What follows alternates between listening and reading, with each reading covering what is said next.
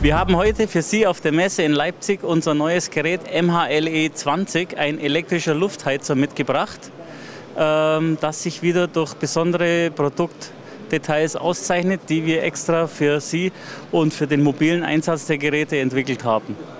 Im Speziellen zeichnet sich das Gerät aus, dass es äh, drei ähm, Stromeinspeisemöglichkeiten hat, so wie das äh, der Nutzer unserer Mobi-Heat-Geräte von äh, den elektrischen Warmwasserheizmobilen gewohnt ist. Sie können einspeisen mit 230 Volt äh, 16 Ampere, mit 400 Volt 16 Ampere und 32 Ampere 400 Volt.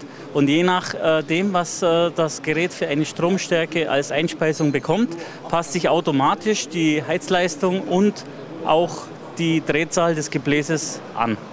Die Anwendungsfälle äh, von unserem MHLE 20 sind insbesondere dort, wo ganz schnell äh, Raumluft erwärmt werden soll, also zum Beispiel auf Baustellen, bei Zelten oder für Events.